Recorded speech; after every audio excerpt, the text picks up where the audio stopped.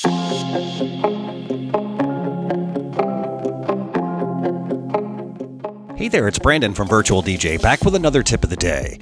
Now, it's always a good idea to back up your library and database files as you never know when catastrophe strikes and you'll need to recover your data or perhaps make it easier to move it over to a new machine. And while Virtual DJ doesn't back up your actual content files, with the new release, you can now easily back up your search database, history, playlists, and other vital library information all with a single click. As you can see here, I have lots of playlists, many years of history files, a few custom filters, some virtual folders, and some favorite folders. Additionally, as you can see above the search bar, I have also created some quick filters and some color filters. Now, it would be a shame to lose all of this data to a hard drive crash, so to quickly back up all of this information, click on the radio button in the browser side toolbar and highlight Database, then click on Create Database Backup. Virtual DJ will now create a single backup file of all library information for all attached hard drives and open a browser window to show you the backup file's current location.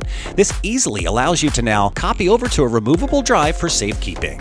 Now, if ever in the future something happens and you lose all of your playlists, history files, search database, and quick filters, either from a hard drive crash or moving to a new computer, you can easily restore all this information by going back to the browser side toolbar and click on the radio button, highlight database, and click on Restore Database Backup. In the pop-up window, click on Select File, and in the browser window that opens, browse and select the backup file that you wish to restore from. Then below, check which items and data that you wish to restore.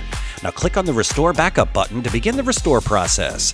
Virtual DJ will show a status message showing the progress percentage next to the search bar. Once finished, Virtual DJ will now display a summary window showing you the results of the restore process. And just like magic, all of my playlists, history files, virtual folders, and other vital information is back and ready for me to use. Additionally, you can automate Virtual DJ to make automatic backups at specified intervals.